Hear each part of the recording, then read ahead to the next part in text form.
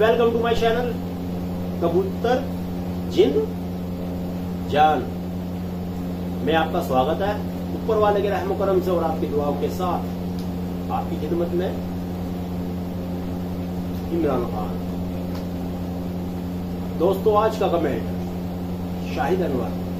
भाई, ने सवाल किया है कि इमरान भाई, हमें ये बताएँ, बाजियों में बाजियों में कबूतर कलियों में उड़ाना चाहिए या दस पर साफ़ करके उड़ाना चाहिए। तो देखो, ये बात भी आपको समझनी बहुत ज़रूरी है कि कलियों में कौन सी नस्ल उड़ा करती है बाजियों में और कौन सी नहीं उड़ा करती। अगर जब तक इस बात का आपको पता नहीं होगा तो आप अपनी बाजियों का बेड़ा गर्द कर लोगे, बेकार हो जाएँगी, नाम भी खराब हो जाएगा। हकीकत में, जब तक आपको ना पता हो।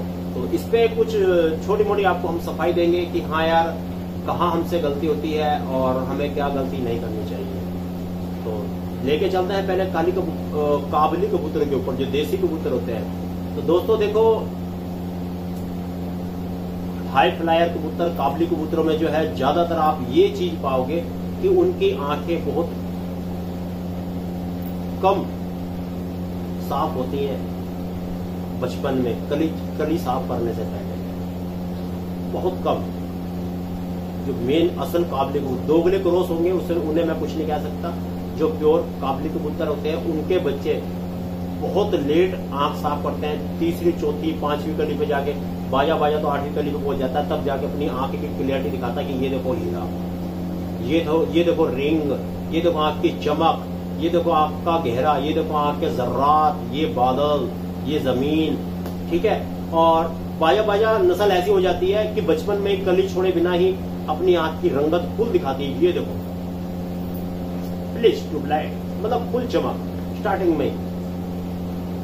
तो जब तक आप, देखो, बाजी उड़ाने को सब उड़ाते हैं। मेरे बच्चे को कबूतर उड़ रहे हैं मैंने भी उड़ा दी मैंने भी उड़ा दी क्या हुआ जी? मेरे बच्चे निकल गए जी। बहुत उड़ रहा था टाइम तो मार रहा था। छह छह सात सात घंटे बाजी में लग गया जी। या फिर, बाजी तो बहुत दूर की बात है। भाई ने उड़ाया, पहली फिर तिली हो गई। चार घंटे, पाँच घंटे में मारे। चौथी पांचवी फिर में बच्चा रह गया। क्यों? क्योंकि जो काबली कबूतर है, देसी हाई फ्लायर कबूतर है, इन्हें आदत है आसमान में डूब कर उड़ने की। और जो आसमान में डूब के उड़ता है तो वो कहाँ गलती होती है बच्चे की? वो आँख अपनी साफ़ नहीं कर पाता। आँख के अंदर हल्का सा मैलापन होता है, जिसकी वजह से बच्चा जब ऊपर गहराई में जाता है, वो नीचे अपना एरिया नहीं देख पाता। बिल्कुल सच्चाई और हकीकत बता रहा हूँ दोस्तों मैं आपको। कहीं भी बड़े उस्तादों से मिल लेना वो बताएँगे कि हाँ ये बात हकीकत है। तो वो बच्चा यहाँ गलती कर जाता है। जब उसको अपना एरिया ही नहीं दिखता, ऊपर जाके धुंधला धुंधला दिखता है, ठीक है तो वहाँ से कट जाता है, निकल जाता है बच्चा वो। तो यहाँ बच्चा वो बेकार हो गया, बाजी में नहीं उड़ पाएगा वो।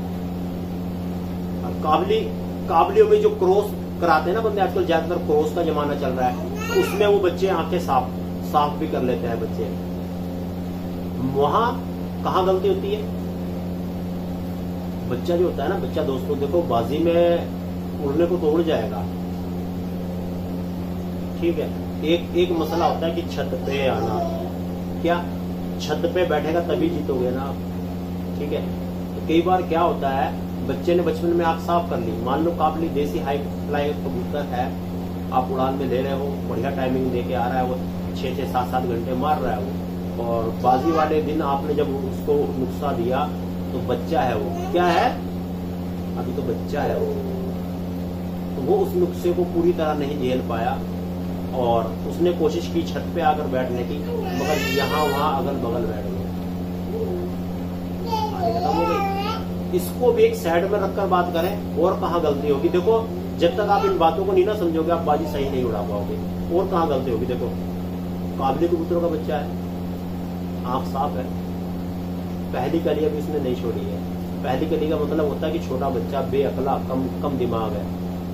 जब तक वो नीचे उड़ रहा है, कहने का मतलब लगा लो, अपने परिवार के ऊपर आ जाओ। अगर हमारे घर का बच्चा है ना एक डेढ़ साल का, अभी चलना सीखा है। अगर वो घर के पास ही बाहर खेल रहा है तो घर के अंदर आ जाएगा।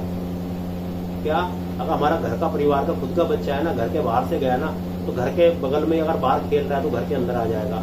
अगर वो थोड़ा सा भी सात आठ घर अगर परे को चला गया ना या सात वाली गली में खड़ा हो गया तो क्या कह रहा है मैं कहा गया? अब उसको ये नहीं पता मैंने चलना किधर को है। गलती से अगर पीछे को वापस आ जाए तो घर आ जाएगा वो। अगर सीधा चला गया ना वो तो सीधा ही चला जाएगा। अभी बच्चा हो गया, जब अब मस्जिदों में, मंदिरों में, गुरुद्वारा में लॉसमेट करा जी हमारा बच्चा हो गया, घर से बाहर निकला था। ऐसे ही कबूतरों का बच्चा है। एक कली सोच लो मंत बुद्धि होती है, कम अकल होती है बच्चे के अंदर। अगर हल्का सा वो कई बार ऐसा हो जाता है आपने जो है उन्हें बड़े कबूतरों के बीच में उड़ा दिया। जी, बच्चा तो अच्छा उड़ रहा दो दो घंटे उड़ रहा। आज इन्हें बड़े कबूतरों के साथ उड़ूँगा। आपने उड़ा दिया, बड़े कबूतरों में जाके घुस गया ऊपर। बढ़िया उड़ रहा, बढ़िया फिर रहा। पता लगा, बगल के भी कबूतर किसी के अच्छे उड़ रहे हैं, उन्होंने भी इधर को रुक लिया, कुछ कबूतर मिले। आपका बच्चा उनके टुकड़े के साथ उधर चला गया।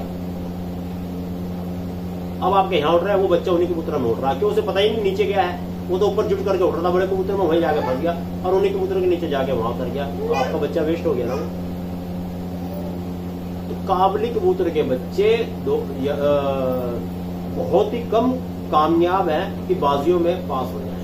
बहुत कम। ये नहीं कहता कि नहीं होते हैं। क्रॉस करा के लोगों ने कामयाब कर रखे हैं, मगर इसमें गलती हो जाती है। अगर आप उसी बच्चे को पहली कली छोड़कर तीसरी कली तक अगर आप उसे संभाल लो, तीसरी, चौथी कली तक काबली हाई फ्लायर कबूतर के बच्चे को तो वो पूरी उड़ान देगा, पूरी समझदारी दिखाएगा और घर आएगा।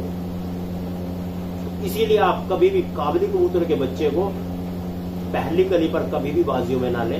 तीसरी तीसरी, चौथी कली पर लेकर ही उड़ाए।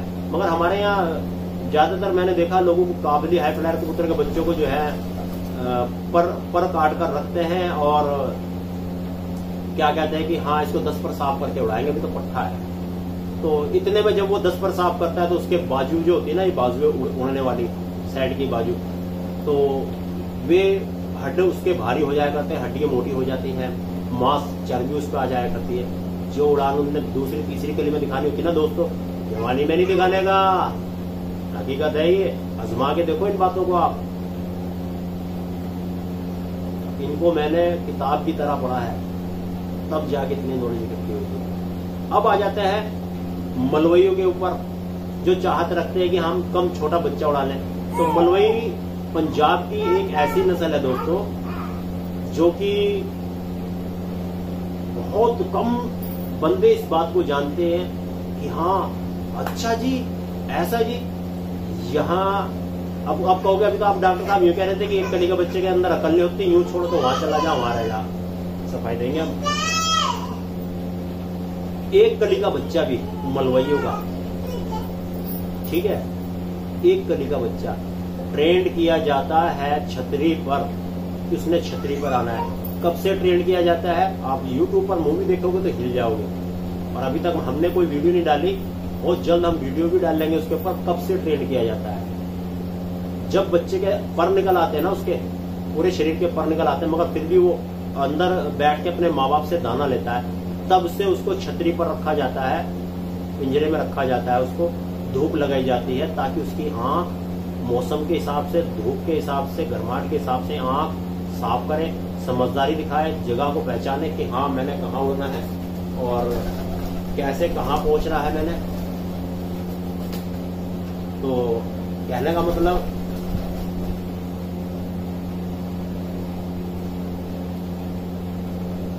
कहने का मतलब बहुत छोटे को मतलब उसको मौसम के हिसाब से जब धूप लगाई जाती है ना उसको उसकी बुद्धि उतनी ही तेज होती चली जाती है। मौसम के साथ से बच्चा जितना बाहर खेलता है ना गलियों में, उतना जल्दी तेज हो जाता है बचपन में। तो ऐसे ही मलवई बच्चों को ना यहाँ ट्रेंड किया जाता है। काबली हाई फ्लायर कबूतर को कोई ट्रेंड नहीं करता, छत पे ऐसे ही मतलब दाना चुग रहे हैं या जाल पे बैठे या अड्डे पे बैठे हैं। यहाँ बच्चों को कम से कम तीन या चार चार घंटे उसको धूप में रखा जाता है। बच्चे को जाल में रख के छतरी दिखाई जाती है एरिया दिखाया जाता है उसको।